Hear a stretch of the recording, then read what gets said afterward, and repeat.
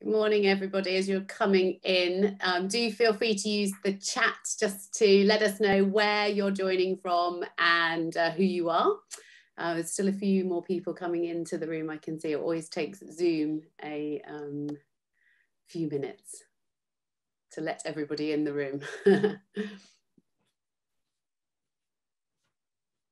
sunny in South London. Well, that's a good sign. When you uh, put your messages into the chat, do feel free to pick everyone in the little drop down there so that everyone can see your comments instead of just the host and the and the panelists.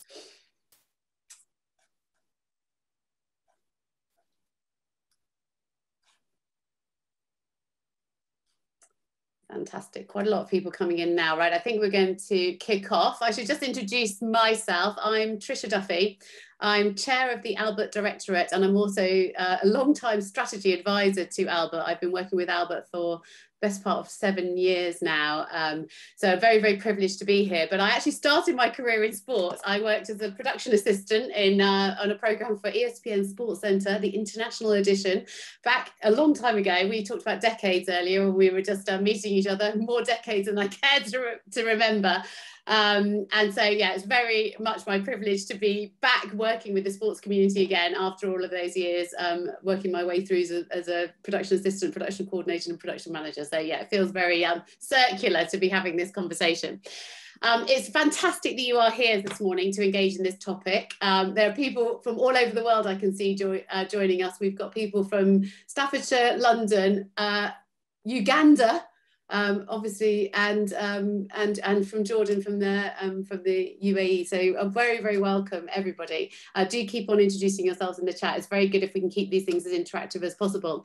And while you're just getting settled, I'm going to ask the Albert team to post in the chat um, links to our social media channels so that you can keep up to date on all Albert's news. You can find us on all the usual platforms with the um, handle we are albert at we are albert and i also need to take the opportunity to thank Albert's industry event partners, Sergeant Disc, Good Energy, Location One, CAMA, and Green Tomato Cars are the event partners that allow us to put events like this on and make sure that they maintain a free to access um, position so that everyone in the industry can, can come to our events free of charge. Um, I should also just mention that we were hoping that um, Seema Jaswal would be joining us today. Um, you may have seen that in some of the advertisement. Unfortunately, she's been unavoidably detained. But um, we are so, so grateful to have Caroline de Moraes here instead, who has got so much unbelievable relevant experience that we've just had a gift basically presented and fallen into our laps.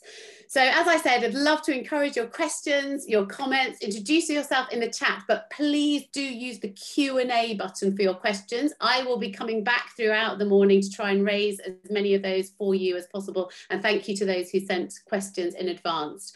Um, last year we launched the Sports Consortium, um, which has been the most incredible um, unifying collaboration to bring all of the sports broadcasting and television industry, production industry together to talk about the challenges.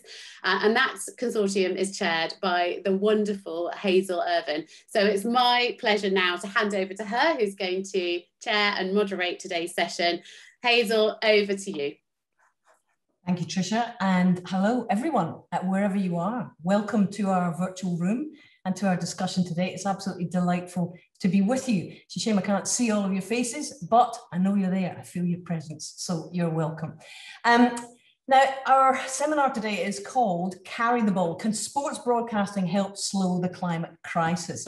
So, we're doing our running back thing, and we are hoping to carry the ball forward for at least a few more yards on this issue, uh, particularly, I think, on the editorial issues around sports broadcasting and climate change. And you'll see that I have my ball, which I'm hoping to carry a few yards in this regard. Uh, now, my own memories of the glint of gold, silver, and bronze are still fresh after a ringside seat at the Olympic Games in Tokyo, albeit a virtual ringside seat, I have to confess. And many of you joining us today will have either been involved in or will have watched many sporting events this summer from Euro 2020 to Tokyo Olympics in Paris, at Wimbledon, major golf events like the Open and the Solheim Cup, the British Grand Prix, all of the cricket, World Test Championship, T20, Tour de France, Lions Tour, and many, many other events over the last few months. And from a broadcaster and broadcasting perspective, I think that list would always have represented a hugely challenging summer in any year. But in a year still dominated by COVID restrictions, it was even more demanding. I think all of us involved would certainly admit that. But the public reaction to these big events underscores, I think, just how badly we all needed them uh, to share a collective experience that made us feel good after a very difficult 18 month period. But for all of the feel good factor that these events engender and continue to engender going forward, it's no longer possible, I think, to hide from the impact of climate change on many sports. It's the impact of weather, it's of heat, of rain, of fire, of flood, and many other issues, plastic, for example, in our oceans. And it's also clear that many commentators and broadcasters and sports stars, very importantly themselves, are using their influence both to inspire and to raise awareness of the fundamental questions around climate change that are affecting us all. Now, as Tricia explained, I uh, came involved in the sports consortium at Albert last year. She twisted my arm, but I didn't take much twisting, I have to say. Um, and it was set up last year to explore and act upon and to reduce and mitigate the impact of sports broadcasting as an industry uh, on the environment. And we've made some real progress in many areas, including sustainable production certification through Albert. Many of you will be very familiar with that. Uh, procurement uh, processes as well. I think what's been really encouraging from a personal perspective, and to echo Tricia's uh, comments on this, has been the determination and the passion to share knowledge between, let's face it, sometimes rivals in this business, and the real spirit of collaboration that really genuinely infuses every one of our meetings. But it's, I think, on editorial matters that we feel that we could start to make even more of a difference, uh, not just around the questions of sustainability of the productions themselves, but on how we talk about these issues on the air. So it's about informing the content of what we do in sport, recognizing both the reality of climate change uh, and inspiring the audience through our sports stars and editorial actions to consider making positive changes and choices in our own lives. So in that way, we normalize the discussion about trying to become uh, net zero by 2050. And we are talking to four brilliant guests about all of that today. We have David Garrido from Sky Sport, David Goldblatt, who's a writer and academic and chair of Football for Future, Caroline de Moraes, as uh, Tricia has been talking about, Red Bull Television many, mother, many other outlets as well, and Fergus Garber, who is the head of production at BT Sport.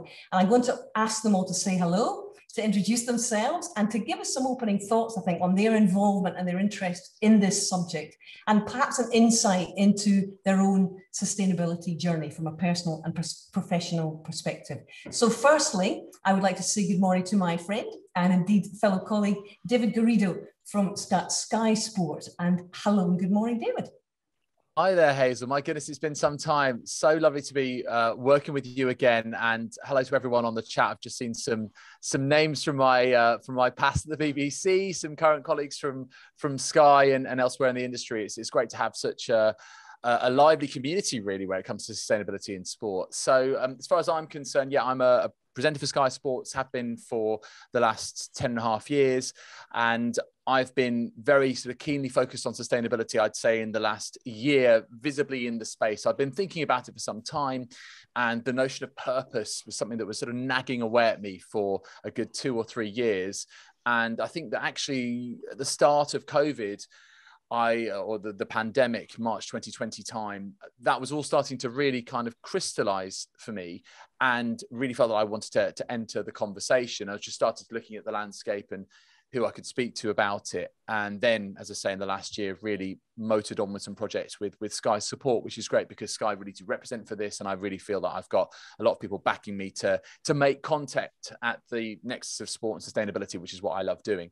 Um, personally, um, I've been sort of at it, if you like, for a few years. Um, I uh, try and eat as much of a plant-based diet as I can. Um, I do really think about how I get about and not trying to use my car. I, I don't have an electric car myself, uh, but my parents do, my sister does, and as soon as I can afford one, I will get one. Um, so yeah, I, am very much involved in that sort of personally, and I do feel you do need to walk your own talk if you want to represent in this space. Um, so I'd say I'm along the journey, and I think the great thing about this Hazel is there's always a next step to take. You know you're, you're never done. You're never the, the finished article in sustainability. Um, and i feel that both professionally and personally i can continue to, to take steps and it's an exciting journey. So it's great to be on that journey myself. Thank you david. It's lovely for you to share that with us. We really appreciate it. Thanks. And uh, from one david to another we welcome david goldblatt uh, good morning to you david. How are you doing and where do you stand on all of this please? So um I first read about the, uh, as it was quaintly referred to, the greenhouse effect in 1987 and concluded pretty quickly that this was going to be the most profound political um, uh, issue of my lifetime. And I ended up writing a PhD on the subject in the early 1990s uh, and concluded that until there was gigantic levels of economic damage and threat, no one was really going to do very much about it, and thus was rather stymied through the 90s and early 2000s as to where to hang one's hat. Along the way, I got diverted into being a historian and sociologist of football in particular and sport in general. Um, in 2018, I kind of concluded sort of the circle uh, and came back to this topic because I could see for the first time how profoundly climate change was influencing sport. And I recognized what a potent tool sport could be in the politics of climate change. And so my little lockdown COVID project was to write a document called Playing Against the Clock, the Climate Crisis and Global Sport, um, and to generate a overview of the um, uh, impact of climate change on sport, uh, sport's own contribution to the climate crisis by its production of carbon, um, to think about the governance of global sport and the environment, and above all, to think hard about what we can do, not merely as individuals, but actually the big structural and institutional transformations that are the precondition of reaching carbon uh, zero. Thank you, David. In fact, I know you're going to share some of those thoughts and indeed musings that you've had very seriously over the last uh, few months with us since uh, the, the greenhouse effect was first mentioned, as you said, all those years ago. I'm also delighted to say, uh, and indeed to echo Trisha's welcome to Caroline de Moraes, who's very kindly stepped in uh, recently to be with us today. We're very grateful to you, Caroline. And uh, where are you at and not literally, but on all of this at the moment. Do these issues influence your personal and professional life, Caroline? To what extent? Yeah, so I'm I've got to be honest, I'm really new to all of this and I'd, you know, been recycling and doing my little part, but I've always kind of thought, well, I'm little old me, how am I going to really make enough of an impact? And it was only recently when I did a job with Extreme E um, in Greenland, which I, I'm sure you'll ask me about later, and so I can go into it more. But that's when I really kind of started to understand. Um, I, I guess also because I could see it, and it's so different when you see it on television to seeing it in reality and speaking to people. And that whole job was just set up in such a brilliant way that we had researchers, professors, people on hand who this is their job, this is their career, their life work. And they were just able to put it into really simple layman's terms that no one is too small and you absolutely have to do everything from coming home and one of them saying to me, you know, I just make sure that my lights are turned off at a certain time. And I was mm. like, really? And he's like, yeah, I, I turn my lights off. And he was like, I will get off the train earlier and I will walk that extra. And it's just the tiniest things, but put really simply, because we, I think I certainly used to think of climate change as something that was just really big and that I couldn't make a difference in. And so being on that job and just seeing the smallest kind of differences that that job did, and I'm a sports reporter and host, and so I'm always traveling, I'm on so many jobs, and I saw really little changes that they made that other jobs potentially don't even think about making but it all has such a vast impact. So i think i i left that and it was only a few weeks ago and it's it's really changed my kind of mindset just on a day day to day basis. It's not i haven't changed anything super drastic but i and it sounds really simple but i now know that those tiny little steps just make an impact. So for me, I'm the newest, I would say, to this, and probably the most naive. But um, yeah, I'm now I'm now slightly changed and making the smallest little impacts, but I know that they go really far. So yeah, I'm the newest, I would say, on this journey. Well, you're a very, very welcome newbie, and uh, indeed, I know that your your influence is going to help a lot of people come to it as well because of your passion that you're clearly showing. And we will discuss a little bit more of um, your adventures with Formula E and indeed Extreme E a little bit later on. Thanks, Caroline. Uh, and the fourth member of our panel today is Fergus Garber from BT Sport, who's very been very much been a leading light, I think, in our sports consortium. He has, I must say, been one of the more passionate and constructive contributors, and there are many, uh, to the debate there and the, the challenge to us to try and improve um, our contributions in this direction. And Fergus, hello again. It's only been a couple of days since we last spoke uh, via Zoom. Can you give us a sense of your role at BT and how you assess the challenges for sports broadcasters in particular around climate change, please? Um, yes, I can. Uh, well, first of all, I, I don't have a driving license and I don't drive. So that uh, is a little bit of my contribution. I'm, I'm also a bit of a dab hand with sort of electrics. So all the halogen lights in my house disappeared a number of years ago to be replaced with LED. So while we're talking about our own personal contribution, I suppose that's mine. Um, from a professional um, perspective, um, one thing that we have in sport, certainly behind the camera, is you know we don't make we don't make single-use plastic. We don't make widgets. Um, so for us to um, make change is uh, in the media business and the television business specifically is actually uh, quite a simple matter because it doesn't actually hit our bottom line. um, so I, I, guess it all started for me with uh, uh, many of you will be um, familiar with the SVG group and they hosted a uh, sustainability session um, at a fantastic ses- uh, setting, which was the Lord's Media Centre uh, where we were told in a three hour session that the first hour and a half we were going to be made to feel like shit about the uh, about the climate crisis and then in, in the hour and a half that followed uh, we were going to be told how we could help to make it better. So that's where it started for me. I came out of that session feeling pretty revved up.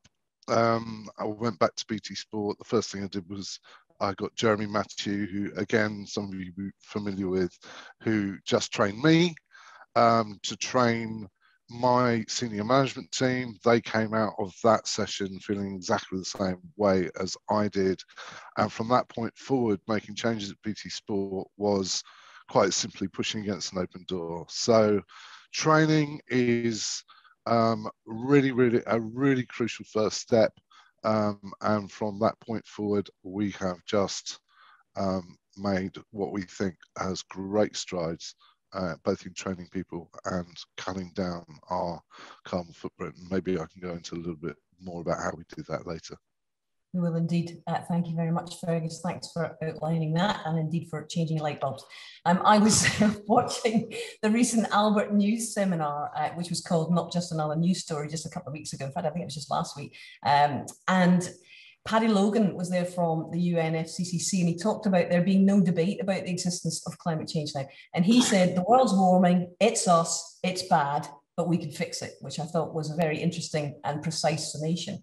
But there is perhaps for lots of people, both in sports industry itself and audiences that we that we talk to, a disconnect between climate change and sports specifically. And so we're really clear about the impact of what we're talking about. I'm going to hand over to, to David Goldblatt actually for a short presentation on this subject, just to make sure that we're all on the same page on this subject. So David, take it away, sir, please. Thank you, Hazel. Um, so, in terms of the impact of climate crisis on sport, just to remind everybody, the marathon at the Tokyo Olympics was meant to uh, meant to happen in Tokyo, but of course it happened 500 kilometers north, 1,000 kilometers north um, in Sapporo, because the weather in Tokyo uh, in August makes it physiologically dangerous for athletes to compete um, because the average temperature in Tokyo is about two degrees centigrade higher than it was in 1964 when they ran the marathon in October.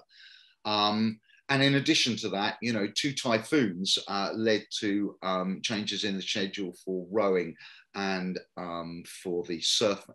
So it's here already. If we think back to early 2020, the environmental story of the year before COVID uh, was the wildfires in Australia which saw stadiums, both cricket and tennis, fill with smoke and make play essentially impossible.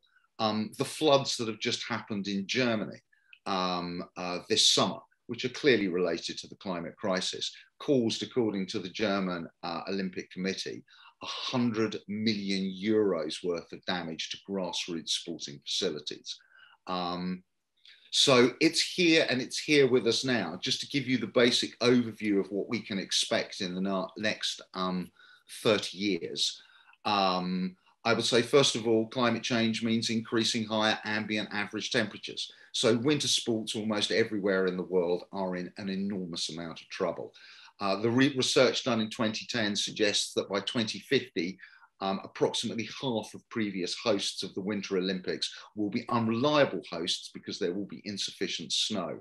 And by 2080, pretty much everybody is going to be an unreliable host. And that's based on data and projections, I think, that are a considerable underestimate as the speed and the scale of the climate crisis grows. Um, of course, when you get higher temperatures, you're also going to get more extreme forms of weather. Um, typhoons and hurricanes are going to be happening more often and their intensity is going to be greater.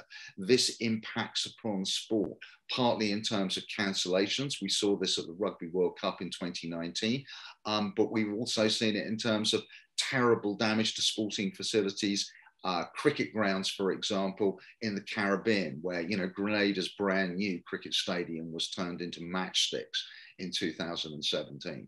Um, flooding is clearly going to be a gigantic problem for sports facilities all over the world, especially those that are in coastal cities where most of the world is currently living.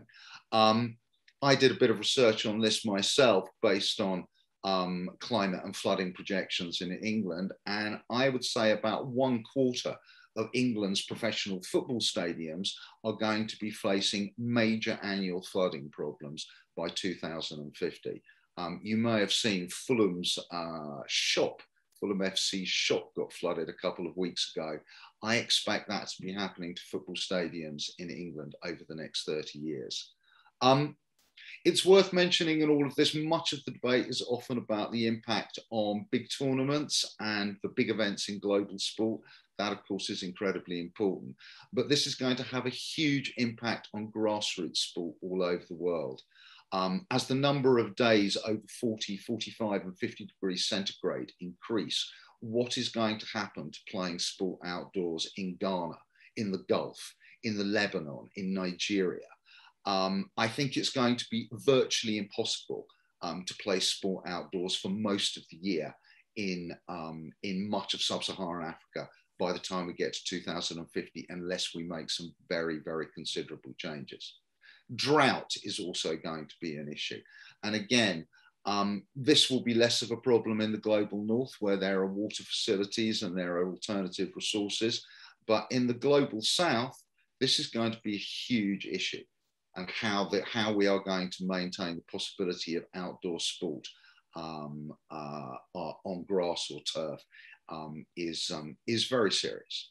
Um, so right across the board, from grassroots sport to the very highest level of professional sport, um, uh, you know, from uh, increasing temperatures to flooding to drought, um, to the health of athletes and indeed the health of spectators. Um, uh, in 2014, the Australian Tennis Open um, saw 1,000 members of the audience receiving medical treatment for some kind of heat related stroke or illness. Uh, and according to the Australian Climate Council, those kinds of days in Australia's sporting season are going to be many, many times more frequent over the next 20 or 30 years. Um, and just as a sort of final parting shot on this. Um, this is going to have a really huge some some event is you know that's going to force everyone to really take up um, this issue is going to occur. I was enjoying like everybody else um, the uh, Euros um, this uh, this summer and enjoying the very benign English summer that we had in June and July.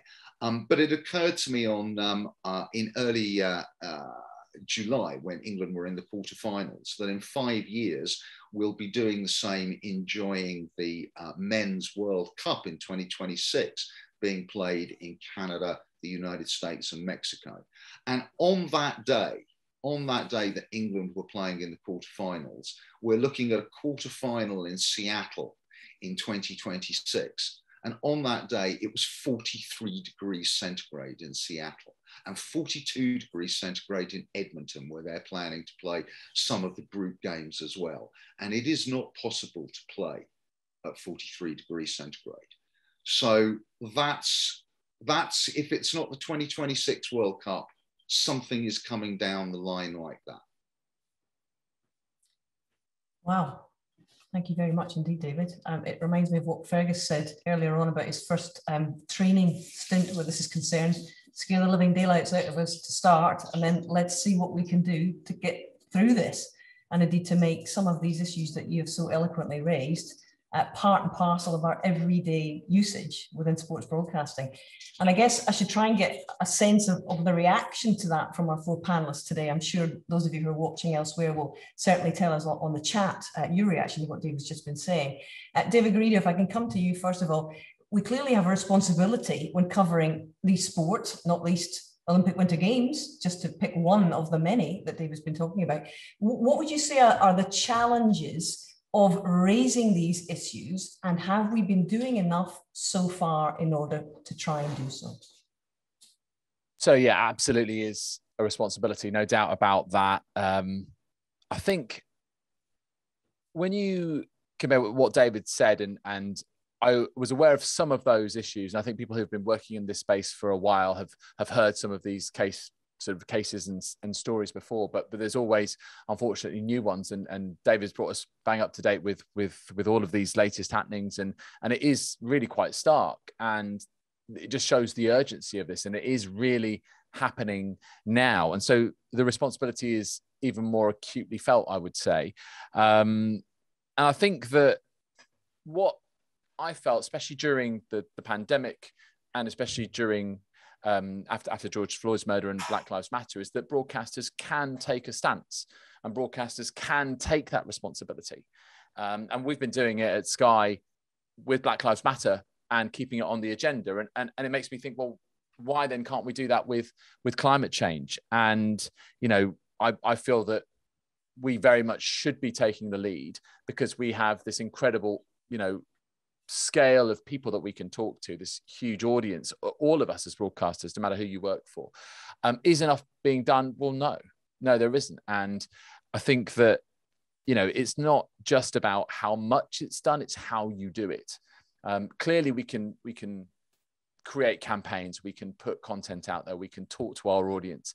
But also, I think it's the way in which we talk to our audience. And it's something that I'm very, very conscious of is, you know, we, if you want try and wag your finger at them, try and tell them the planet's burning, and it's it's everyone's fault. I'm not sure it's necessarily going to engender the best response. And I think that actually that's a, a key point to this is trying to be as encouraging. And I know that we'll, we'll come on to this, as you said, Hazel, later on, um, about what good work is being done and how that should inspire other people in sport, other sporting entities, to get on the journey and do it themselves, but also all of us, all of us who who value what these sports entities represent, whether you support that team or you admire or revere or even idolize that athlete, and they stand for something. You know, look at Lewis Hamilton, look at Patrick Bamford, um, and then it might make you think, okay, well, I care about what that person stands for. I'm going to show those values in my life as well. But the way in which we talk to people to try and encourage them to do that is is also key. But but ultimately, it's a responsibility. Yes, does more need to be done? Absolutely. Indeed, and as you say, we'll go on to, to some examples of good practice very shortly, David, in that regard. Um, from from Caroline, you mentioned earlier too, and you were very honest about this, and the fact that you've you're you're reasonably new to the thought processes about what you're going to do, and indeed what the industry can do. Uh, from what we heard from David earlier on, is that shocking to you? Um, how, what was your reaction to to some of the the issues that you raised earlier there? Well, yeah, I am new, and I think. Um, as you say, and as David mentioned, it's being considered by broadcasters. In some cases, yes. Um, I especially, you know, working on Extreme E, but I think that was a, a, rare case. I think there's more that broadcasters broadcasters can do, but I do think it's also quite difficult as a presenter responding to live sports action, but also be ready to offer a climate change context. So working in on Extreme E recently, its very nature as a sport is dedicated to highlighting climate change. So that made the whole environment a lot easier. Talking about climate change wasn't seen as maybe political or a bit strange. It didn't unnerve producers or it didn't unnerve people. And you knew that the people watching at home, you know, they've signed up for that. So when you know that your audience is receptive to this conversation and to those messages, it I didn't feel, I guess, in danger of going over the top or discussing the environment because the whole setup I felt very padded. I felt very cushioned and supported in every kind of sense. I mean, from even from meal times we bought our own plates and cutlery and we would everyone there was nothing disposable so we ate with our own plates and cutlery. I mean if you forgot your plate you had to kind of wait for someone else and borrow theirs. But then at the end you were kind of washing your your your dishes. I've never ever been on a gig where i provide my own cutlery and plate and then i wash it up afterwards. But that's such a simple little little thing that we might not even think about. Um, but you know, I've worked on the Dakar. I'm here on a motorsport job. It's it's just natural that it's disposable plates, and I don't think that's not a criticism. It's just I think switching our brains to going, it's okay. You can totally do that. And it becomes the norm, a bit like water bottles, right? It's become the norm now that people carry their own water bottles. Um, so I think there is more that we can do. And that's just off camera. On camera, of course i think there's more we can do but it's just finding that happy balance because as a as a sports reporter my job is to report on the sport. And so i have to find a nice way of bringing in what's happening. And there are ways. It's just suddenly having that switch on your brain going oh okay yeah this is completely linked. The marathon the temperatures is completely linked. And we can just bring that in. But i think we're just habitually used to maybe not and concentrating just on the sport and leaving climate as a separate topic and it's just finding the link I think that's a very, very well made point, actually, because as you say, we are in the business and indeed ultimately the entertainment business um, of sports broadcasting. So you, are obviously not going to mention this at match point or indeed as a, as a ball is being swung across from a corner kick.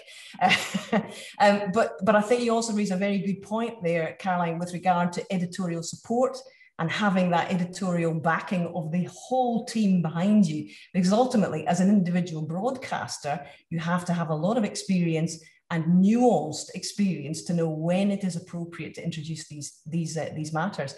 And, and, Fergus, this is something that we've covered a lot in the consortium. Um, in terms of BT Sports, and indeed from what you've seen and heard from other broadcasters, is it the editorial, the overarching editorial considerations that we should be addressing here as a team, as a broadcasting team, and not just putting the onus on the individual broadcasters here?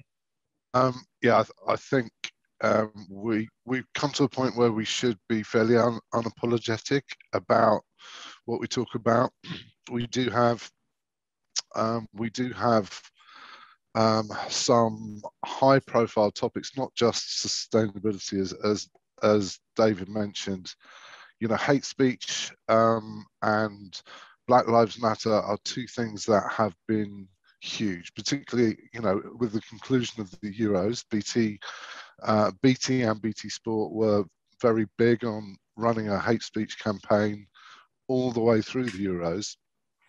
Um, now it's time to turn our attention to um, to sustainability because you know it's getting worse as, as David Goldblatt said it's, it's getting worse it's not going away um, and it will affect sport more and more you, you, the point I was making about um, being unapologetic is just going to increase with every month that goes by, and particularly with COP26 uh, coming sharply into focus now. It's a I, I don't think there's ever been a better time um, for sports broadcasters to start talking about it.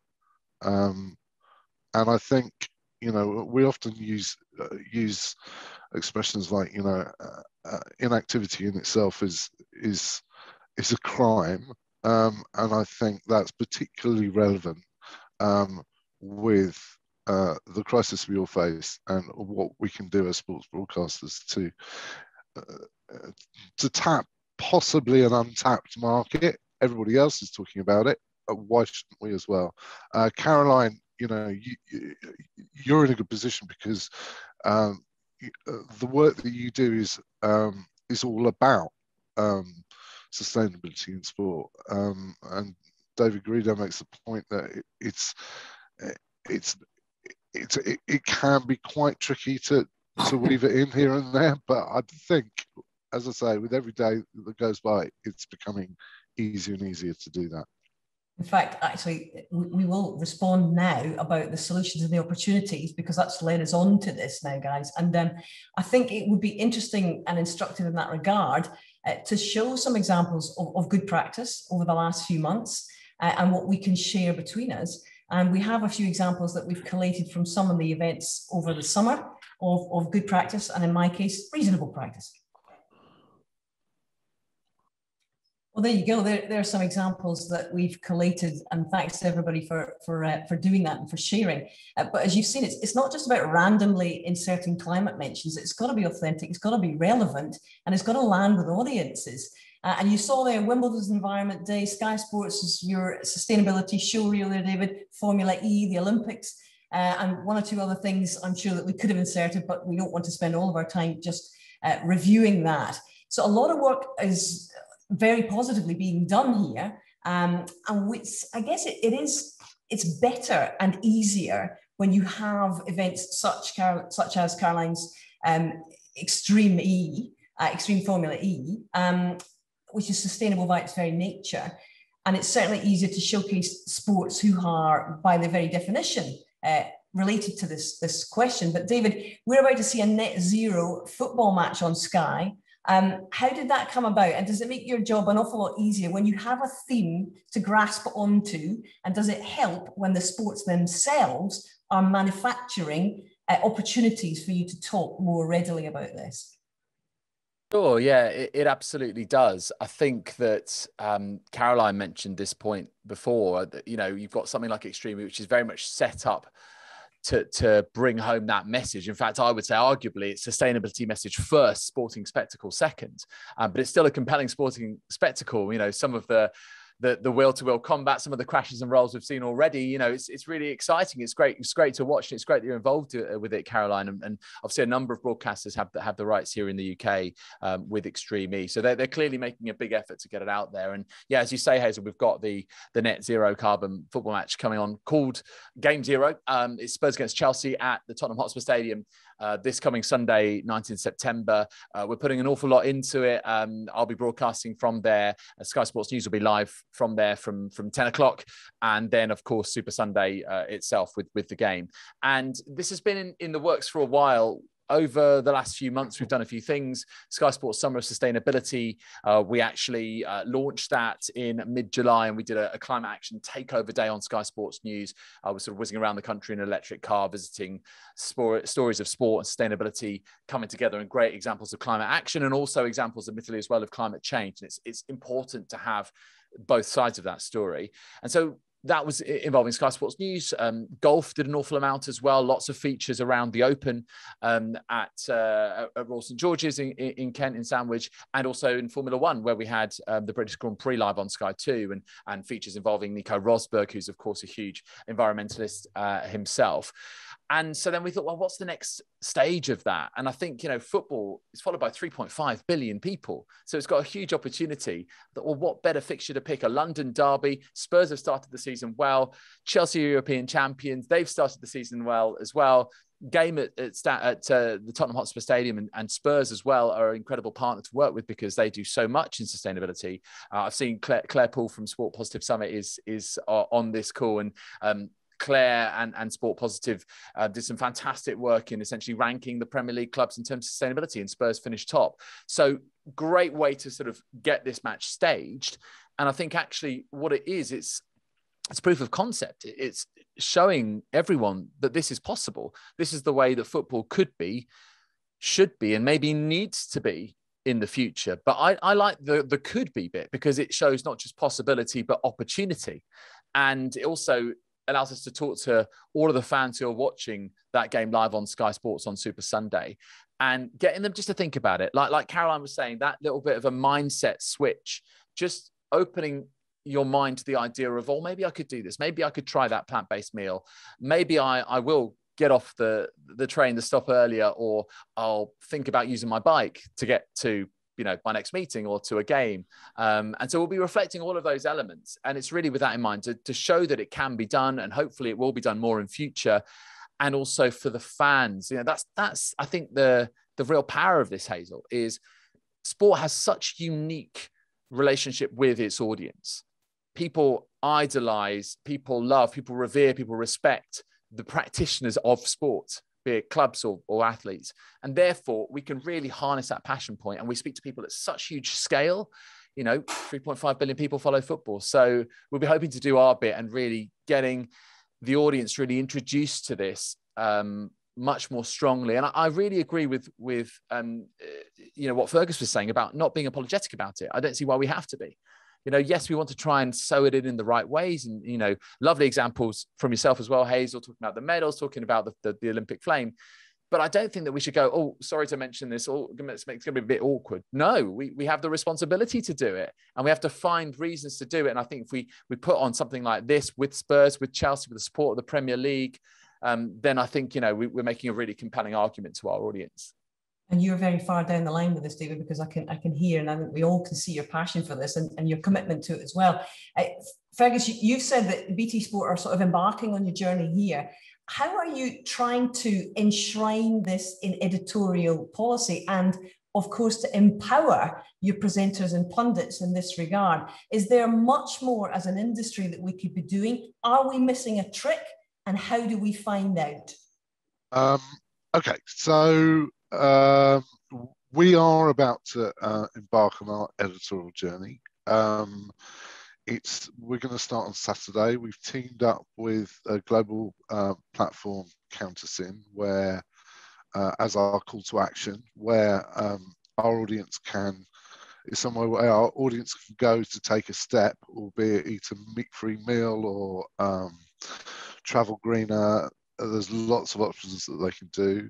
Um, and it's the start. Next week is the Climate Co- Coalition's Great Big Green Week with um, events up and down the country. So that's where we're going to start talking to our audience. Um, we see it as um, a combination of two messages actually and we, we talked about this uh, about you know scaring the bejesus out of people um, and then letting them know what they can do so it's it is um, a careful uh, marriage of those two um, those two steps um, in order to we hope um, to uh, provide um, the best results. Um, you know, sports fans, a lot of them are in themselves very vocal about just wanting to watch you know football or whatever sport they're into and nothing else.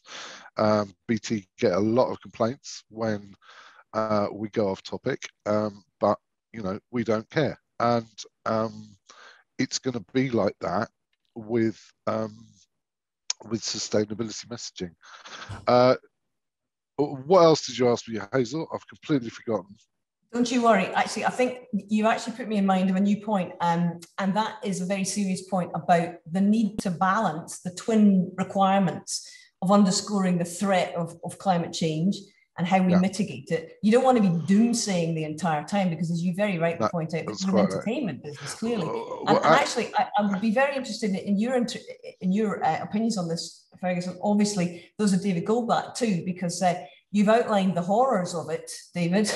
but what do we, in your opinion, do about it? Fergus, if you want to answer that one first, and then I, I shall, uh, I, will I'll chuck that one and you David a bit later. Yeah, I, th- I think David mentioned um, Claire Poole, who I know is on the call. I think it was her. I'll give her credit for this one anyway. Um, I think she said, um, "Be a hypocrite, not a cynic," um, and I've used that a lot um, when um, sort of talking to talking to um, uh, BT Sport people and the bosses who are worried about, you know, what happens when one of our pundits turns up in a gas guzzling enormous car at a football match um, and how we're going to deal with you know some PR fallout in that respect. Um, you know, it's important to it's important to recognise your achievements, um, and you know, and also own up to the fact that you've got lots more to do, and this is all tied up with with how you manage editorial and you know that that fear that you're going to get caught out. So you have to be able to you have to be able to point to something positive that you have done. And but you on the other side of the coin you also have to say and we completely acknowledge we've got lots more to do. And the other and what's particularly important i don't know how the other guys feel about this is when you're talking to a sports audience it's really really important not to preach. Um, and finding a way to um, to do that is is really the silver bullet really.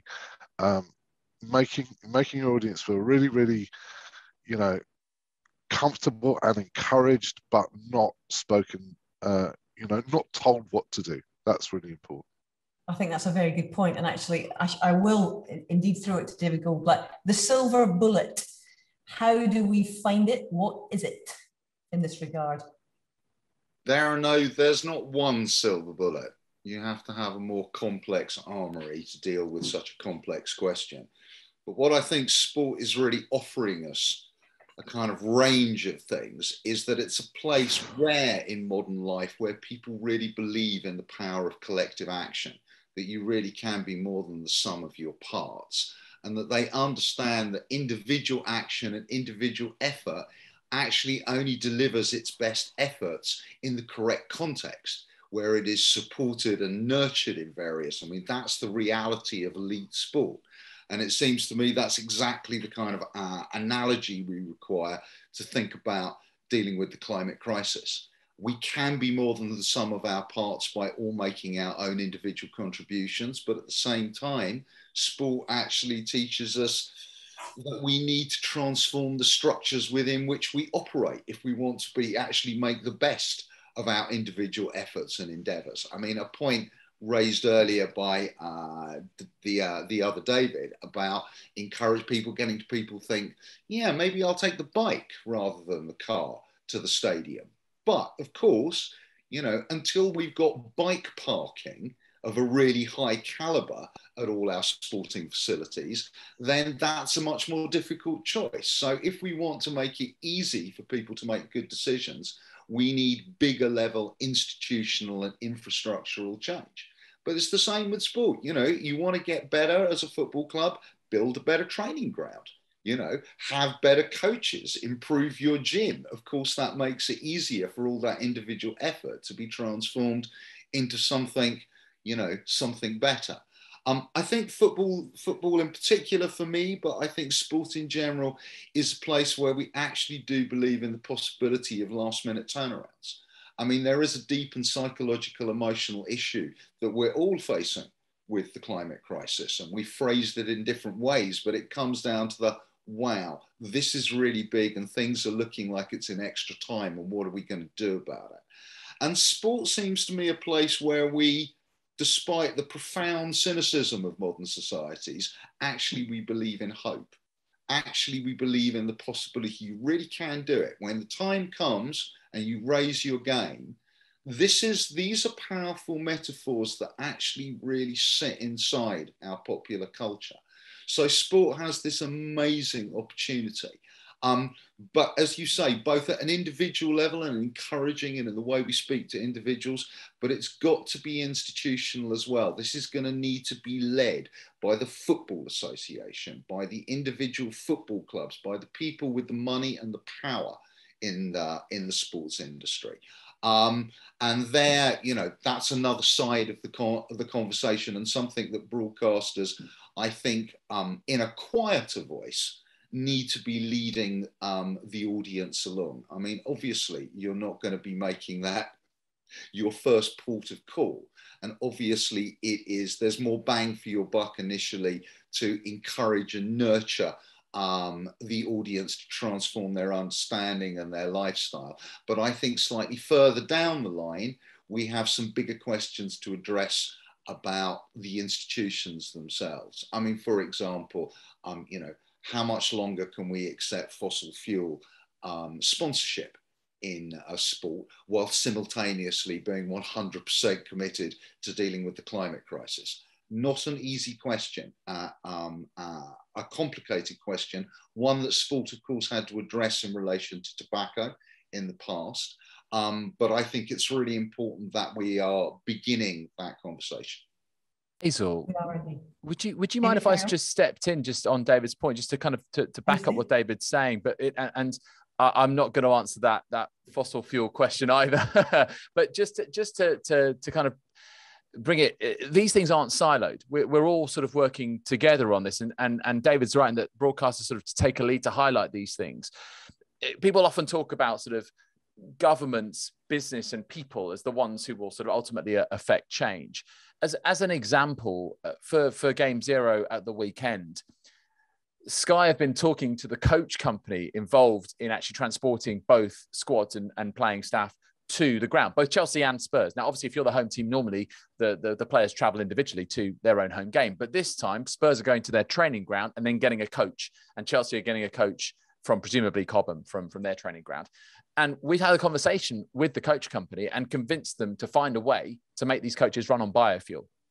And we've actually had this conversation, and they've thanked us for giving us giving them that challenge because that then is something they can take into other operations. So actually, mm. you know, us as broadcasters highlighting, leading, trying to make this game net zero carbon, actually then is part of these these conversations we're having. There's there's there's other things that are at play here um, where actually these these these worlds do linked up. Yes, absolutely. There's a huge responsibility on, on people like FIFA, UEFA, the FA, etc., and, and on us as broadcasters, and and on people to do what they can but you know we are trying to inform business to say hey this is the sorts of things that you can do that don't just apply in this scenario but that could apply more widely. So that's how i think it's it's all linked up. And it's, it's quite a complex picture but it's nice to think that you can have that real impact not just putting on a game saying we're net zero carbon for this game. This is game zero. That's the campaign and then we're done. No no no no. You've got to keep that rippling on you do, uh, and rippling through are some of the questions um, and comments that have been made on the chat, and indeed there are some questions. Uh, Trisha, I'm sure you are collating any of those. Uh, what are the messages that are coming through loud and clear from what you're seeing? So actually, I would really, uh, there's a couple of questions. So actually, somebody has asked actually in advance of today and um, on the on the Q and A just now. Thank you very much, um, Barry, for for your question. Which I, uh, David, you might just want to make a further comment on, which is asking that question that you've just raised around how brand sponsorship um, affects this, and you know, not just broadcasters but also federations, teams, athletes, um, and how do we sort of encourage everyone to make those good choices in terms of, um, you know, why how how brands are aligned to the, the sports that they choose to sponsor. You know, um, money can drive action, and he would just love to know your thoughts on that. Thank you, Barry, for that question. David, would you like to, to have a go at that one? David, is that? Oh, sorry, David Goldblatt. I should yes. be clear. and you're both David G as well, which makes apologise. Yeah, exactly.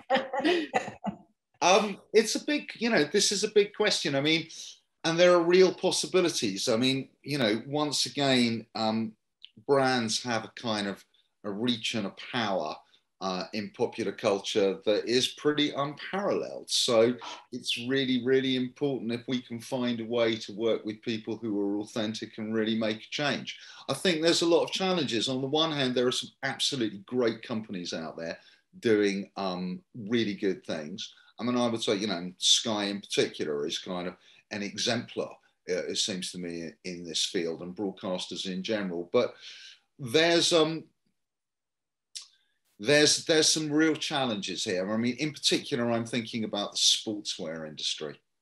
Um, you know, which is a huge part of the sports industry, ultimately in many ways slightly parasitic, actually, on uh, on the professional sports industry, without which you know, which is what's driving uh, its sales.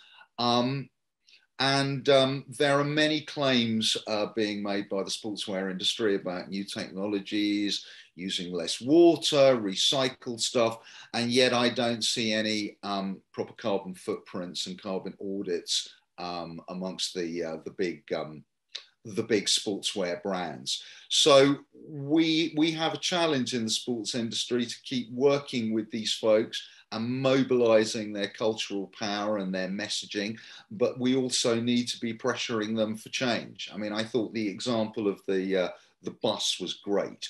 Um, and a really good in micro example of what we can be doing.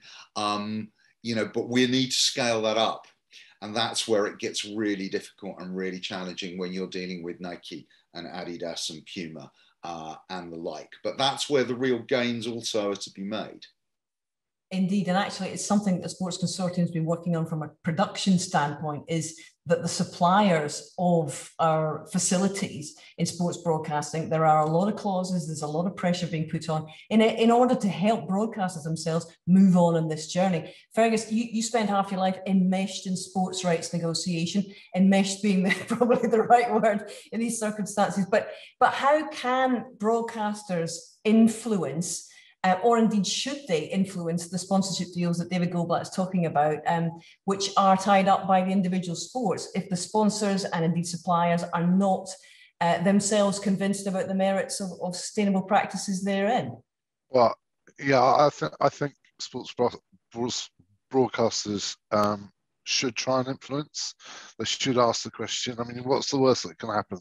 You know, they get said no to. Um, so there's there's nothing stopping any any um, broadcaster, you know, asking those questions. Um, collaboration is a, is a really important point here with uh, with other other broadcasters. Um, believe it or not, um, certainly around sustainability. Um, BT Sport and Sky Sports do not like fight like cats and dogs. Mm-hmm. Um, we are very collaborative around um, sustainability. Um, and this, you know, th this doesn't just end with, um, you know, how to produce, you know, how to how to make uh, improvements in remote production technologies and all that kind of thing. It's also, um, you know, how we talk to suppliers. It's also how we talk to rights holders. So um, we have shared a number of common um, clauses um, uh, one of which is um, asking rights holders um, about their relationships with sponsors and our expectations of what we expect. Um, and we have come up with a number of clauses, and um, it it does take a collaborative approach with the rights holder. So it is very much a, you know, shall we agree on these clauses and shall we work together to uh, make the whole ent enterprise, which is the relationship between licensee and licensor, um, more sustainable um, for the next three years, which is a, fairly typical right cycle. Um, so um, I think any broadcaster can do that, and any broadcaster should ask the question. And I think that the, the, the key to success in this, in this area is, is not to try and strong arm the broadcaster, uh, sorry, the license, the licensee to something that they're never going to go for. It is to say to them, um, this is our ambition. Um, what's yours? Should we work on it? Should we set out something jointly and work on it together? It's never, it's never that straightforward because um, uh, licensors have lots of licensees that they have to look after, but it's got to start somewhere. Um, so, uh, and I think now is the time. So, yes, is the answer to the question. Everybody should have a go at their licensors. Well played. Thank you very much, Fergus. Um, Caroline, I'm aware I haven't spoken to you for a couple of minutes. I do apologise. Uh, there are a couple of other points I'd like to make from your experience. Um, one is about the influence and harnessing the influencers. In other words, the sports stars who are genuinely committed to this subject and indeed enhancing uh, sustainability through their own actions. We just saw Hannah Mills actually in that clip from the BBC's Olympics, who's now, of course, um, the Olympics' most decorated female sailor. And almost literally the second question that she was asked, she was into one about plastic pollution. Now, that's clearly a very powerful voice on that particular subject. Um, from your point of view, Caroline, is enough being done to showcase these views and can we uh, can we get our act together a bit better in that respect I think we absolutely can because broadcasters, we have more power than we think. And going back to what I said at the beginning, where I kind of had a mentality of, well, I'm just little old me. So how can I make a difference? Because I'm not in charge of the channels that I work for. But actually, it, it's so much easier when it is something like Extreme where we've got professionals and researchers that I could go and ask all of my dumb questions off camera and they could give me all of the answers. But I don't have that when I work on football. And football, you have to have a different cap on. It is different viewers. I'm not saying that all I'm a football fan, so I'm not saying that all football fans aren't interested in the climate. That's not exactly what I'm saying. But what I'm saying is they're not necessarily prepped and ready to hear and understand climate chat. So it needs to be done in a way that feels authentic and natural.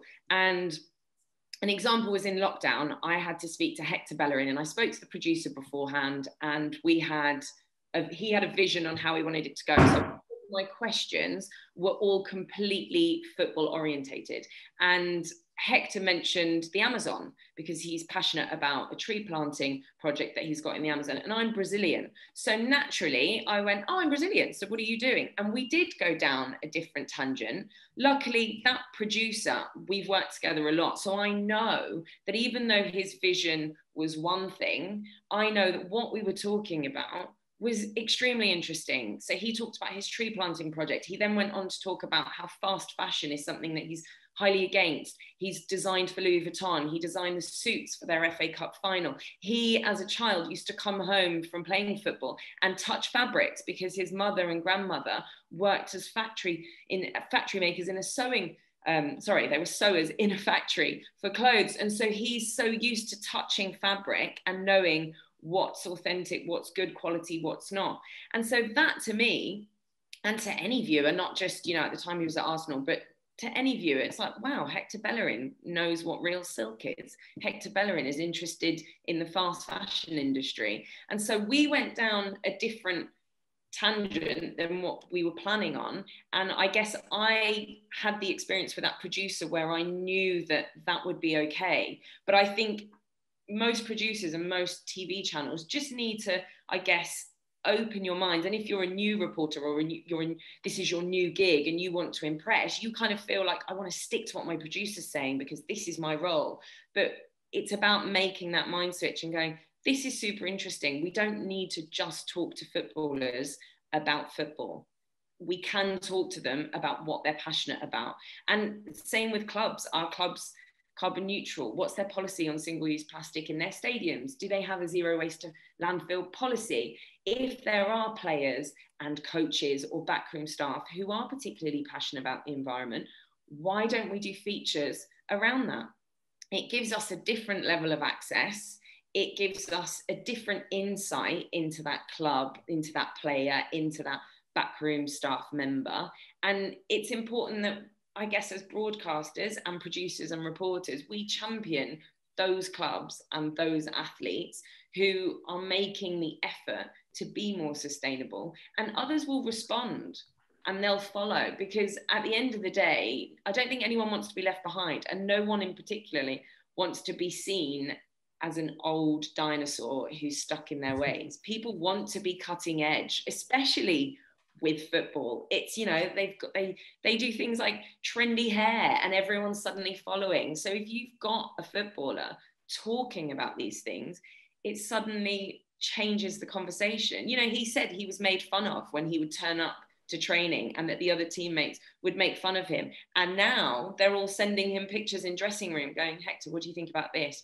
And he asks about the designers and he asks how sustainable they are. Where is this from? Don't go to this shop go here. So, um, I think if we if I didn't have the freedom to go down that rabbit hole, I would have just asked him not boring questions, but I would have asked him questions around football that any anyone else would have. So it's important for us to just change the mindset.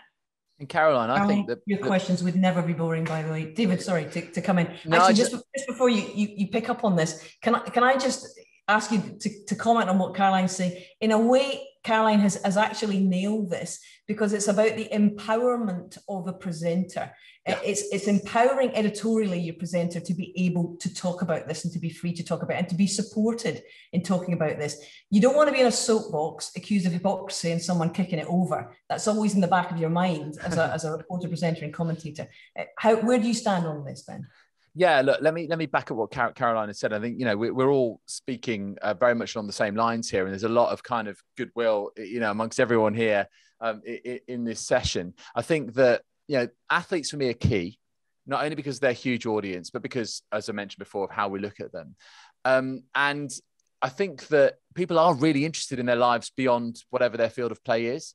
And I think that some of them are making real efforts. And we've done this this um, vodcast series recently um, to build up to Game Zero, which I've been doing called Playing for the Planet. And my first guest on that is Patrick Bamford, who who devised this. I don't know if you can see that. Sorry if you're just listening in the kitchen, but basically that is um, Bolt for Planet. That is his celebration. So, you know, Jesse Lingard's got that, and Dele Alli's got that, and, you know, Antoine Griezmann's got that. But Patrick Bamford has put it into popular culture with a celebration. And when he scored a hat trick against uh, uh, was it Villa last season, he did this to the camera, and people were wondering what it is. And that's a kind of cool way to get into it, and just to say, "Oh, right, okay, so that's what it was," and and and, and that's really interesting. And, and now people are taking an interest. And, and the reaction to me ta- talking to Pat at length about this, you know, it was a good sort of like hour long chat so, oh, I didn't realize he was into that. Oh, right. Okay. And, and, and, you know, he, he, you know, he wants to get, you know, ground source heat pumps in his house and, and, and look at, you know, various different ways of being sustainable. So I think that, you know, there is a real fascination with what other, what other things they're into. And we can, you know, use the ones that are really pushing for climate action to to reflect those points. Um, you're, you're right. You, you, don't want to be on a soapbox. You don't want to be preaching. We've we've discussed this before, but I think that actually you can just be honest with the audience and be honest uh, about yourself and sort of say, well, I'm, I'm not perfect and none of us is perfect. And, and Pat himself tried to be plant based and it didn't quite work out, had to scale it back a little bit. And I think that's another way through is just to, you know, show the warts and all, if you like, or just show the, the, the real true picture. This isn't insta reality, this is real reality. And just talk about it in that very, very human sense. Because again, it goes back to how we communicate. And I think if we communicate in a genuine way, we're just having this chat because it's important, and we're going to have this chat, and you know, maybe if you're a little uncomfortable with that, well, just try and allow yourself to get into it. And I think that that, that genuine authenticity is is a key to kind of getting off the soapbox. Don't even think of a soapbox.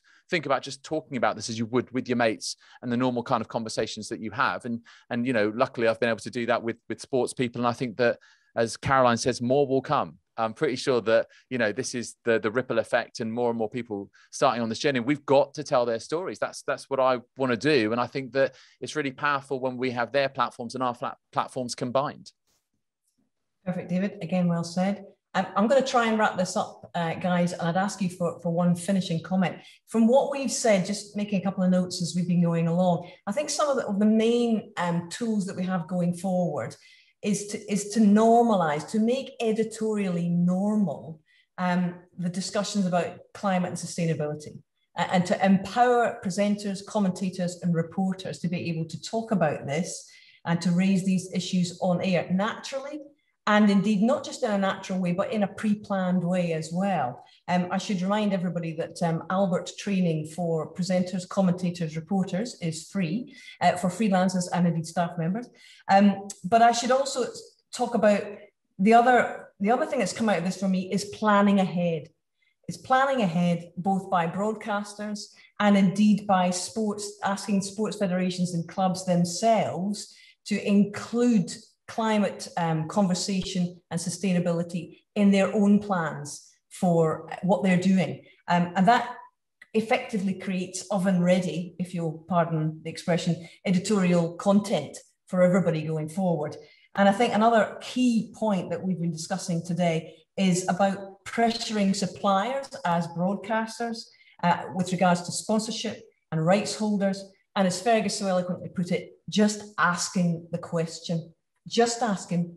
Uh, and, and if we keep asking, perhaps we will get answers that change things. So um, to sum it up, can I have one point from everybody? Um, how positive do you feel about sports broadcasting?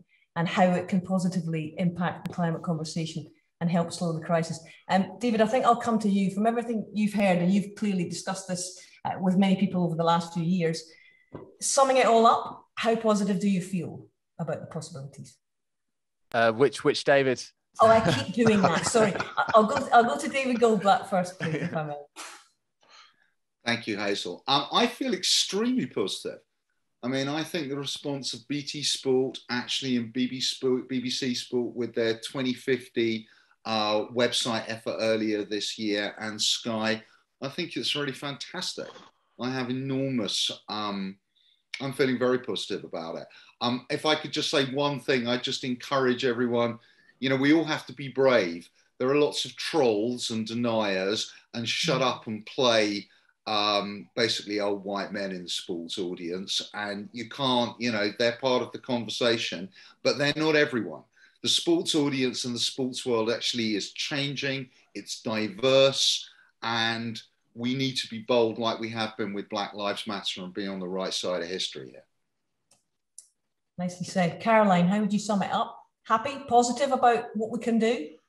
I definitely say I'm more positive, and I definitely say that, um, especially after being on Extreme E, I have tried to really switch my brain to be more open and to take a little bit of that power that you were saying. Because sometimes, as a presenter and a reporter, you feel like you do have a role to play. And actually, David, you mentioned the floods earlier, and that made me think of the Grand Prix. I mean, Spa didn't go ahead for the first time in its history. And the whole time in my mind, I was going, what does that mean for the championship? What does that mean for the riders? And what does that mean for the drivers? And what does that mean for this and that?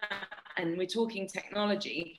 Um, but suddenly I thought, well, it's climate change. And I, I kind of have that in my head here. Now I'm working on a motorsport event. We're in the south of France, but we had a storm yesterday. So already the feature that I'm doing today, I'm going to mention it because we, we're in the south of France. We expect sunshine. We expect heat, but that's not always what we're going to get. And so, why are we not always going to get that? How does that affect the athletes? We can easily change and the sporting story together. They are a marriage. How do the athletes prepare for something when actually the climate might not be what it's supposed to be, where it will change? The same with the marathon. So I think I do feel a little bit more empowered to have that conversation and to talk about it with the producers and the people who are editorially responsible and asking them more for, you know, a little bit more uh, leeway in talking about it. And I think most people are receptive. I don't think that people are quick to shut it off. It's just asking those questions and being bold enough. We're pushing on an open door, an open door, Caroline. Thank you very much. Fergus, can I have your finishing thoughts, please? Um, well, something just struck me uh, as you know I've been talking, uh, listening to Caroline and, and David Garrido talking uh, was looking at it from a, an audience perspective, and it just struck me that um, as we were talking about normalizing it, wouldn't it be amazing if um, our sporting audiences started to have an expectation that we would talk about it, and wouldn't it be great if your sports fans sitting on the sofa um, was wondering how green their club was or how green their sport was and um, expecting us to ask to ask a question so that they could be better informed. And wouldn't it be great for us as sports broadcasters to get to a point where it was actually that normal? Um, that's just what struck me. And in answer to your question, um, I am optimistic, and I think um, I talked a lot about collaboration, and I think we're all working together so well um, to make this normal, um, and that is um, a great cause for optimism, I think. Thank you, Fergus, for your contributions today. And finally, David Garrido. Thanks, Hazel. I, am just looking at the chat, and and you know the response to this session is is is brilliant, and I feel exactly the same. And yeah, even more buoyed by it, you know. And and look, I'm I'm only human. I'm imperfect. Everyone has a bit of, you know, ups and downs with this, you know, climate anxiety and things like that. I don't feel like this every single day, but I always kind of get back on my feet and say, but we've got to keep doing this. So I think that to David's point about being bold, absolutely. Um, you know, we've got to keep trying to sort of lead the way. You know, this won't solve itself we have to try and take a leading role. And I've talked before about how sport is so special and unique. Um, and yeah, let's collab. Um, Caroline, let's have a chat let's see what we can do together you know as broadcasters you know is there a, almost like a presenters union you me hazel and we'll bring the rest on board as well you know and try and get more and more people involved in this? Because i do think you know like like fergus said you know it's not like BT and Sky are at loggerheads over over everything, and I think that time has kind of passed. And you know, um, I, would like to think we, we, work very very closely with the BBC on the uh, online hate campaign um, against online hate and hate won't win, uh, which I also sort of played a part in and sort of told my stories about about having received that. And it was incredibly powerful, and it's even more powerful when people do genuinely collaborate and work together not just for show but actually do share stuff. Um, and and yeah let's just absolutely keep going. I'm just very much feeding on the kind of positive vibe of of, of everyone in this in in this uh, in, in this session in this call. And and edit and basically editorially commissioners give us the airtime. Uh, producers trust us because we can really help normalize the conversation. I couldn't put it better myself. Thank you very much indeed, David. Um, no Okay, thank you very much to my uh, running backs from their four different teams today. Uh, hopefully, in our discussions around sports broadcasting, its role in response to climate change, we have carried the ball just a few yards further down the field this morning. Uh, thank you to my panelists, to Caroline, to both David G's, uh, Garrido and Gilbert, and of course uh, to Fergus, to you for your interest, and of course everybody who's watching us around the world, it would appear, uh, for your interest and your attendance and indeed your contributions via the chat today. It's been a privilege to be with you and thank you very much for asking me to chair this seminar. I will hand you back to Tricia. Thank you, Hazel. Um, well, we, we, always we always say that Hazel is probably the best in the business, and I think you've just seen a perfect example of that now, and has left me just the right amount of time to do the final bits of housekeeping and wrap up on time. So you know, brilliant, uh, brilliant presentation skills there. Um, thank you from Albert to all of our speakers as well. I think this has been the most exemplary panel. Apologies to everyone who posted questions that I didn't get a chance to answer. I think some of them were answered during the course of the, the discussion anyway, so they were sort of naturally brought up. Um, I should also say a huge thank you to our consortium, the Sports Consortium. I know that Siobhan's going to put a link into everybody that's in the Albert Sports Consortium that's brought us to this point that we can actually have this debate that's come together to sort of sit in a darkened online room to, to, to work all of this out. So thank you to all of you. Um, and to our event partners, Sargent-Disc, um, Location One, Green Tomato Cars, and Good Energy for um, enabling us to make all of these events um, free of charge for everyone in the sector. If you'd like to learn more about what sport can be doing, we do encourage you to join the Sports Positive Summit. And Claire Poole has been mentioned in dispatches a few times today, and she is an absolute force of nature in this agenda across the whole sports um, community, not just the broadcasting and television part of it. Um, that's taking place on the 28th and 29th of September, and a link to that is just about to be, or has just been posted in the chat if you would like to attend that. And um, the only other thing for me to say is thank you again to everybody. Thank you, Hazel, and have the rest of a wonderful day wherever you are. Thanks, guys. Goodbye. Thanks, everyone. Thank you. Bye. Latest.